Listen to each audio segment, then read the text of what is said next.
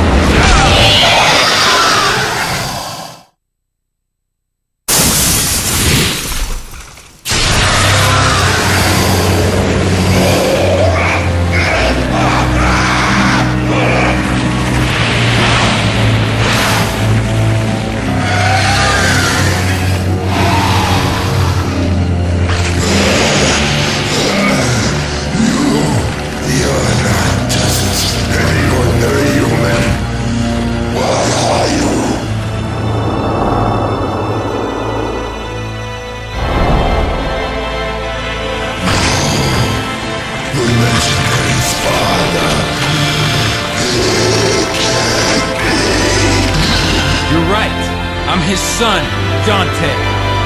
Sweet dreams.